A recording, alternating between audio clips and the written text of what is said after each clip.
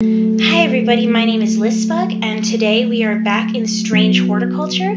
I've already finished the main game that I know of, but there are still plants to identify. As you can see here, it says that I've only got 58 out of 77. And as we learned in my last video on Strange Horticulture, there are multiple endings, so we'll have to go back and do those too. For now, I'm going to focus on identifying these new plants and seeing what else is going on. It said earlier, so I'm assuming this is taking place after, excuse me, before um, the very end confrontation with the servant or the Woken Dendru. So I suppose this is just busy work identifying plants. As you can see, we've got a lot of plants that have not been identified yet. I'm going to move this watering can kind of as a barrier.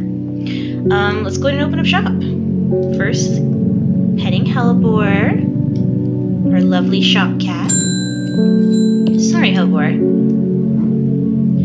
Alright, Simone Green. It's good to see you too, Hellebore. It has been a while. You seem as relaxed as ever, though nothing ever phases you, does it? I must admit I've been buried in my books and seem to have missed all the excitement. Yeah, she kind of wasn't around toward the end of the game. Your plants had a part to play, though. I've been collecting, collate, collating, collating some information on a selection of plants for a little book I'm putting together. I was hoping you could help me finish identifying all these plants. Ah, that's where this comes in. Let's start with the moonlight flower Bellanox. I've always loved that one. Okay, so I'm gonna assume this is in my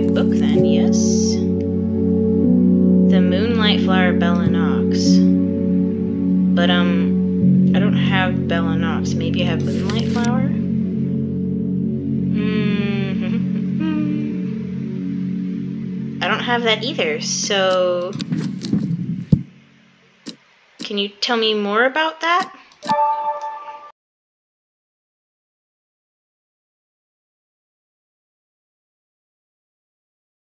Okay, so I probably don't have it then. Oh, wait, wait, wait, wait, wait. I already have one right here.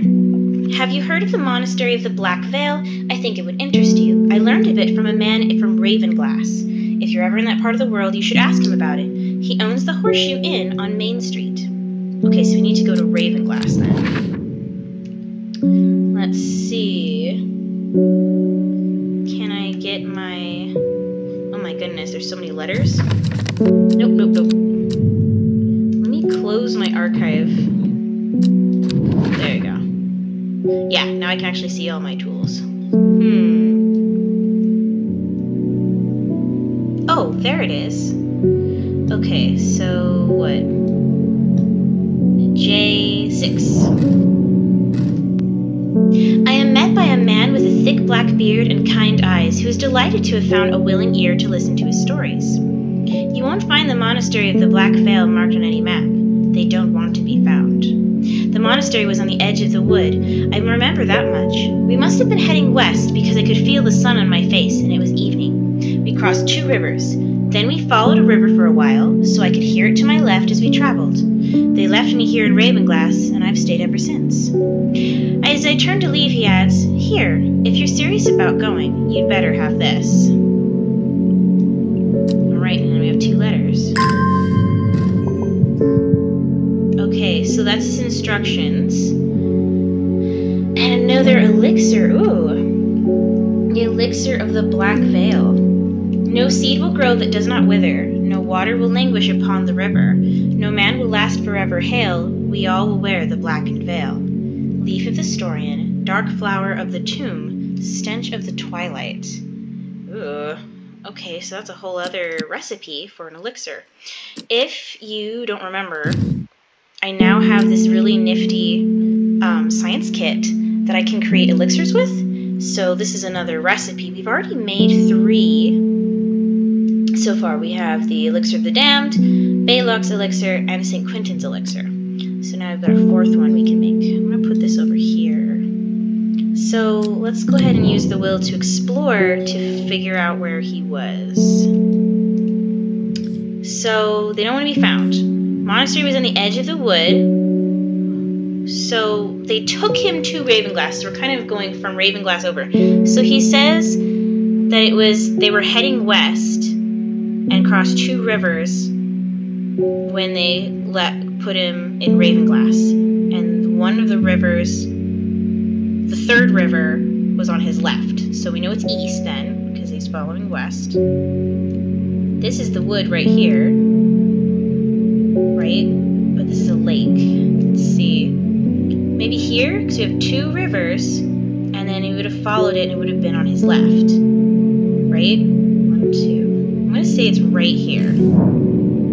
Oh, yes! Nice. Three figures, their faces hidden behind black coverings, come out to meet me. The figure on the left speaks first. The monks of the Black Veil know of the horticulturist. Then the one in the center of the group adds, They will share their knowledge if they receive the payment.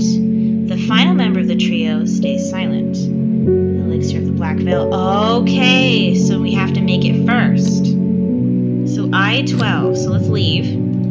Put our map and stuff away.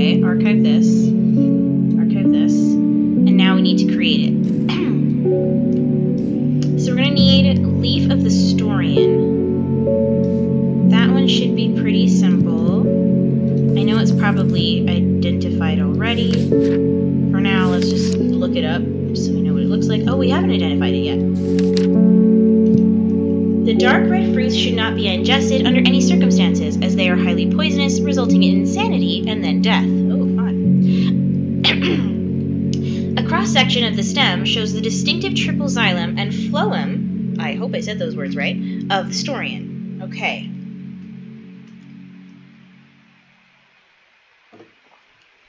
So we're looking for a plant with red berries, dark red fruits dark red fruits. Okay, so these are already identified. so it would be one of these. But none of these have dark red fruits. Oh look, yeah, this one's a Storian. Red fruits, long flat leaves. That checks out. So then leaf of the Storian, dark flower of the tomb.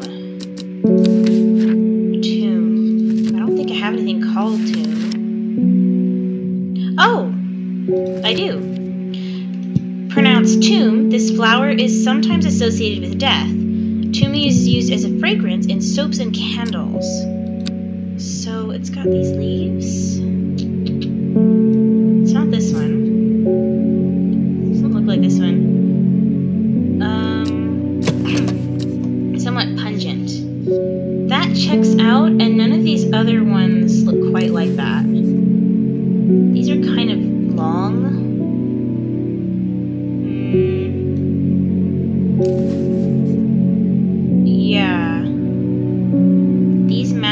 Better, and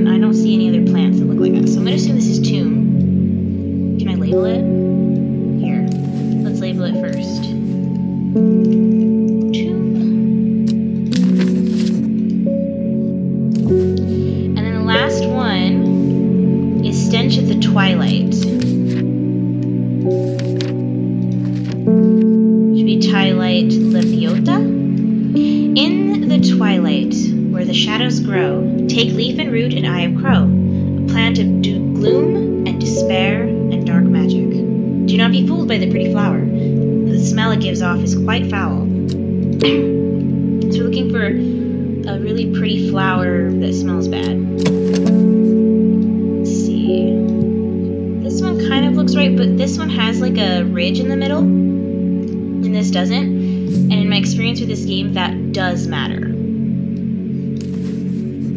This one smells sweet, so that doesn't work. Mm.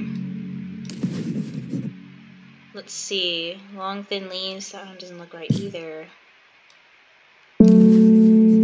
Overpoweringly sickly sweet scent. Hmm. Those leaves don't really match. This is the only one that's kind of close. Maybe this one? Rather unpleasant scent. That looks a lot closer. I'm gonna say this is Twilight Leviota.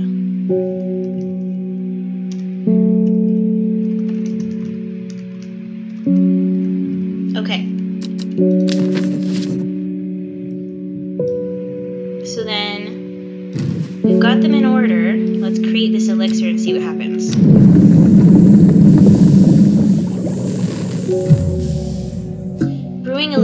delicate art. I must have made a mistake somewhere. Okay, so one of these, or lots of these, is wrong. Um. Ugh. I don't know what it could be. This is for sure Storian, right? Oh my gosh, there's more plants over here that I did not know I had. Oh, wait, no, no, no. Excuse me. These are already identified. So, what did, where did I go wrong? Let's look at all of these. Okay. Okay.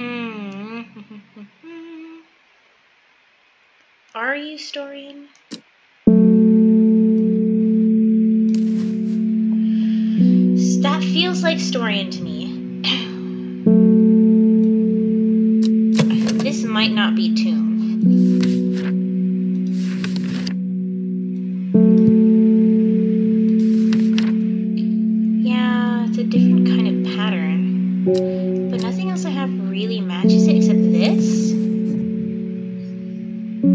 Let's see. This actually looks more like this, so I think this is two.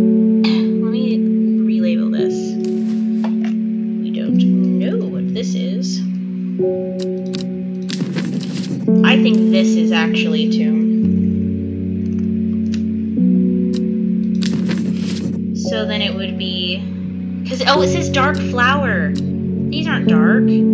Oh, that was dumb of me. Okay. So that's for sure probably Tomb. And then the Twilight Leviota is this one. Let's check this one. Pretty flower, but it smells bad, right? Oops. Yeah, unpleasant scent. Okay, I think we got it this time. Let's try again.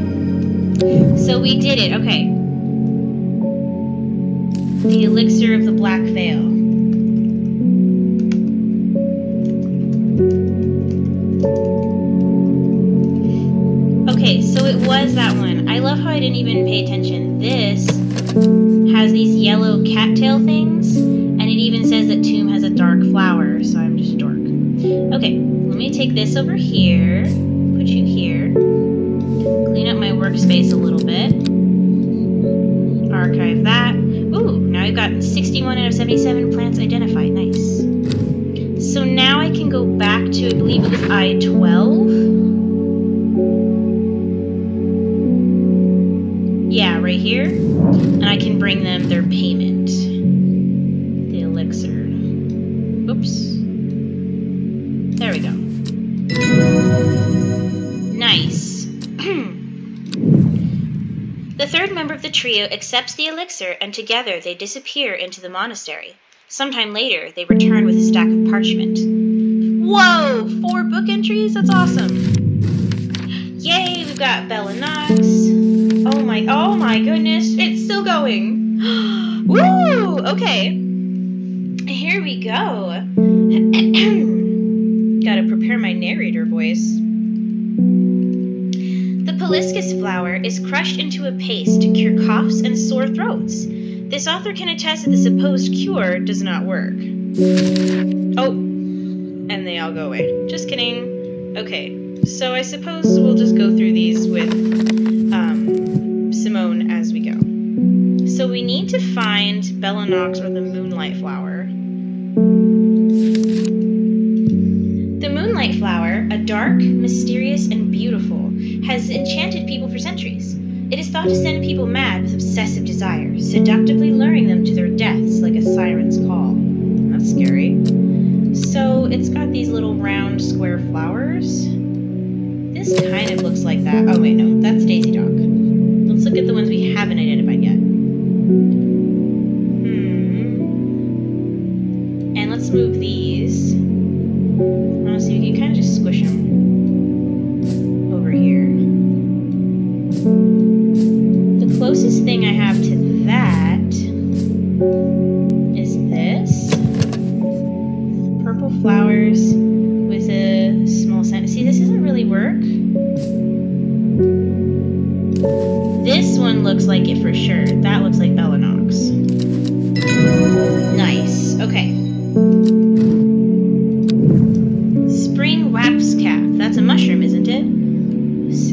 Like it for sure.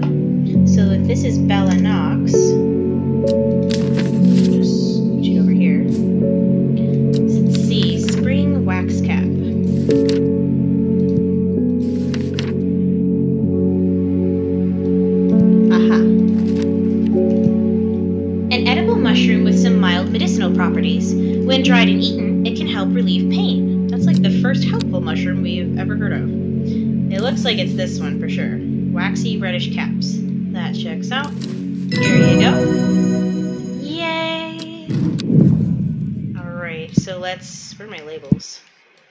Let's label spring wax cap. And it can join its identified brethren. Ah, Haveridge. Some romantic soul once gave me a stem of Haveridge. I think I offended the poor boy when I gagged on the scent. He took it as a bad omen. Haveridge. So we know it's kind of stinky, least very strong smelling. Pretty blue flowers line the stems of this sought after plant. It is said that if you give Haveridge to your beloved under the light of a full moon, you will both live long and blessed lives. Aww. So it's got these little kind of bell shaped flowers. It's probably this one, right? Yeah, it's got these little blue flowers. It say it has an overpowering, sickly sweet scent.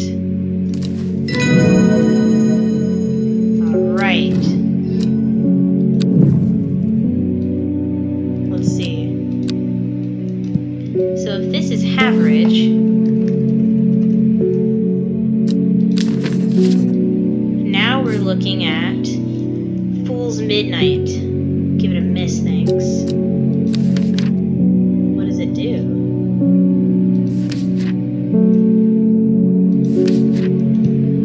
Used by some as an aphrodisiac, though the potent sulfuric aroma is enough to put off most. This dark mushroom has a fleshy underbelly and is said to have a unique, sharp taste to those brave enough to try it. So it's kind of a stinky. It's got these little bumps on it. I wonder if it, this is it. smells rotten.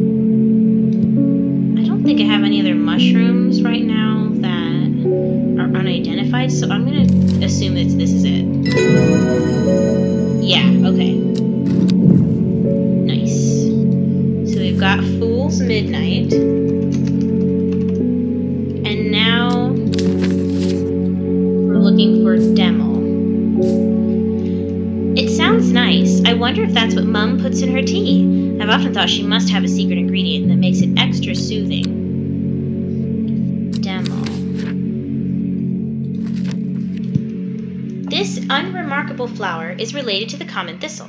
Its leaves are occasionally brewed into a tea that is used to calm anxiety. Oh, so Verona's tea is really that good. This looks like a thistle. A bland smelling flower. Yep, that looks like Demel. Nice. This is so fun. Like, just labeling plants might sound kind of boring, I think, to some people, but I, don't, I am thoroughly enjoying this. Lesser Meriadoc. I don't know that one. I'm pretty sure we've already encountered this before. Hmm. We have not identified it. I must have mistaken something else for it. The round flower head of the Meriadoc is made up of smaller yellow florets. A single drop of the strong smelling sap from this plant can utterly drain a person's mental faculties, rendering them slow and uncomprehending. That doesn't sound good. I'd say it's this one, but it's yellow, but it doesn't look like the picture. It says they're small florets.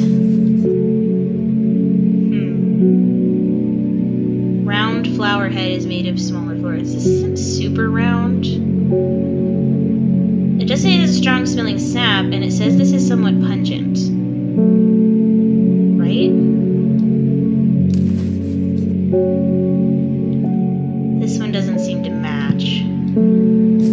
About this one. Mm, that one looks more like Lyle of Neptune, actually. She's right here.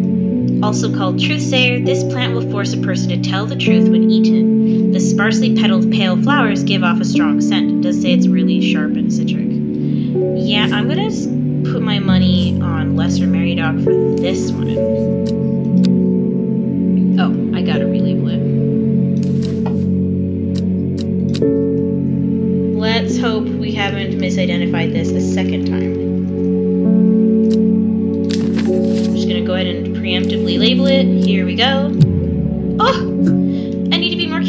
Wasn't Lesser Meriadoc. I must be more prepared next time. Oh no! Is it this one then? Flowers are very delicate. The petals fall off easily. I I don't think that's it. Oh no. You're being relabeled as I don't know. Okay. Let's make sure we don't have anything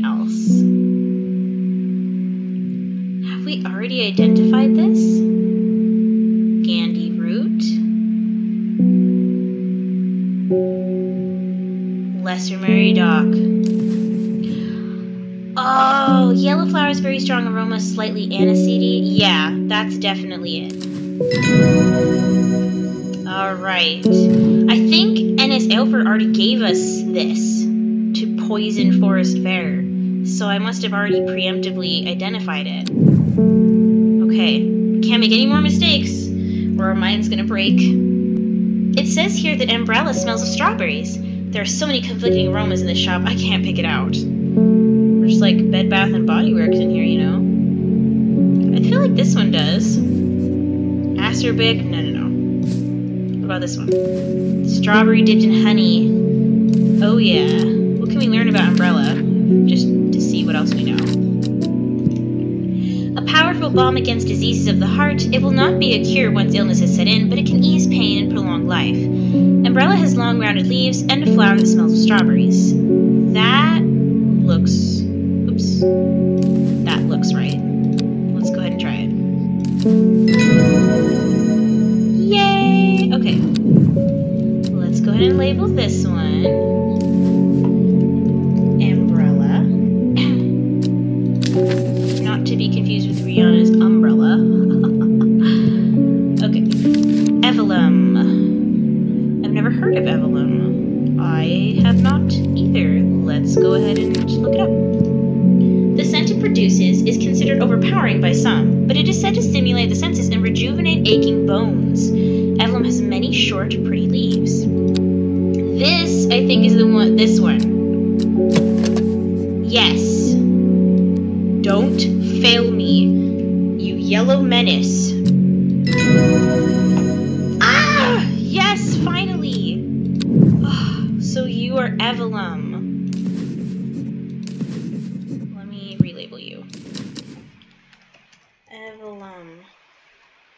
Great. it will be nice to know that that thing can't trick me again. Because it's totally the plant's fault and not my lack of common sense. Penny Bell. The leaves of the penny bell are chewed by some for their hallucinogenic properties. Fun. However, it is highly addictive and can lead to sickness and death. Don't do drugs, kids. It's bad for you. So I'm gonna assume it's this guy because else quite looks like that.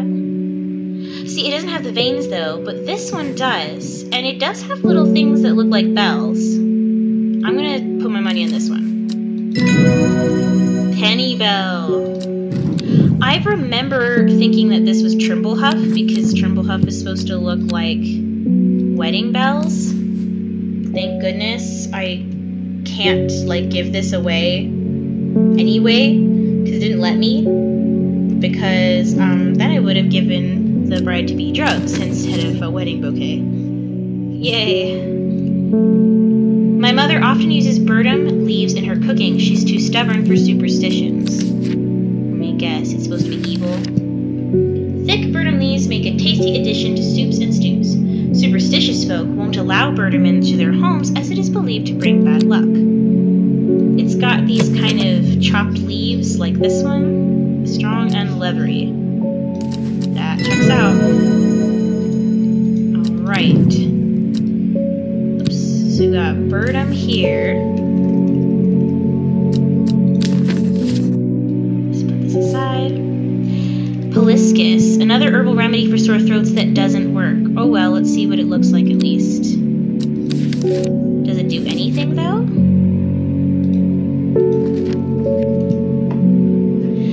The Poliscus flower is crushed into a paste to cure coughs and sore throats. This author can attest that the supposed cure does not work. So it's just kind of useless. I'm gonna assume it's this one, based on the leaf structure. Yes, Poliscus. Which apparently does is like the first plant that we've encountered that I think is actually useless. It doesn't really do anything. Lyle of Neptune, I don't even think I have to think about this one. That matched the description perfectly a few minutes ago. So let's go ahead and label it.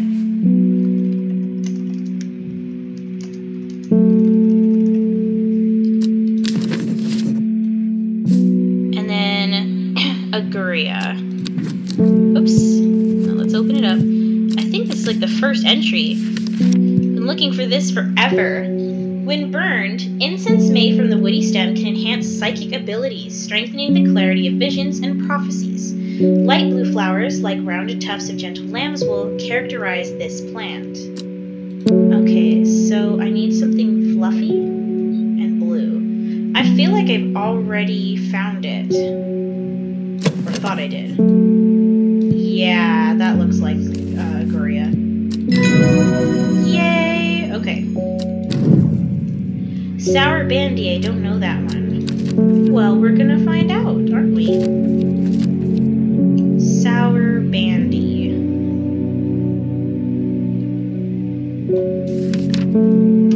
The Sour Bandy can help with memory recovery, especially if the memory has been deliberately sabotaged. Ooh. The name of this plant derives from the fact that, although edible, the large stamen is extremely bitter to the taste. I, it's gotta be this one got this big protruding thing, and it does say that it has an acerbic odor.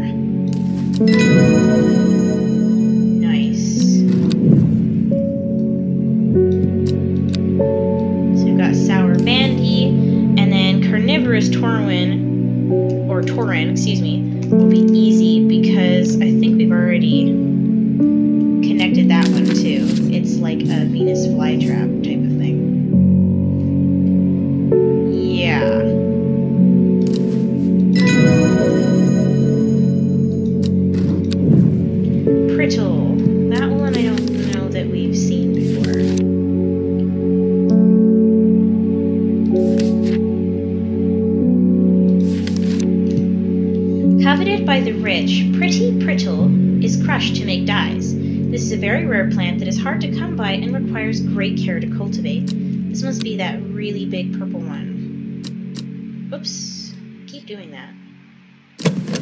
Ooh. This is our last plant, you guys. We've already identified 76 out of 77. Here we go.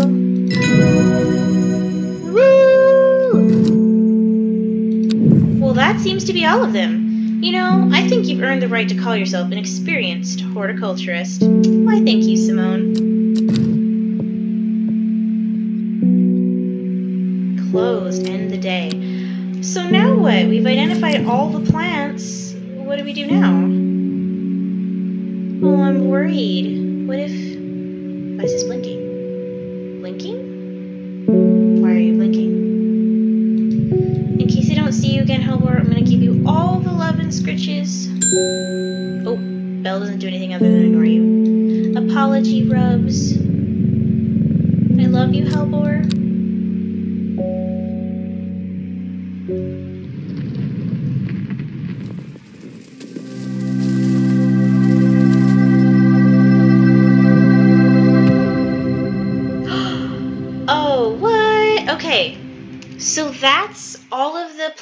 Identify in this game. So then I'm assuming the only thing left for me to do is to find the other endings. I'm not sure how many there are, but we know that last time I played this game all the way through, I got ending 2, which I believe is called Elderfinium. So I'm assuming then we have a lot of points in the game where you can make different choices. I wonder if now that I've identified all the plants, I wonder if I play the game again, if it'll let me have those plants so I can actually make different choices. Because there were a lot of times in the game that I literally couldn't make certain choices because I didn't have the plant. So I don't know. Or it's just going to expect me to remember where I found them all. Which, that could be a lot of work. But I am invested. I want to know more. So we will definitely be coming back to Strange Horticulture, but that was so fun. It kind of just rewards you with all the relaxation um, that the game can provide without any hard choices. Just identifying plants, putting labels on them, arranging them all pretty on your shelves. I just. Chef's kiss. Fantastic game.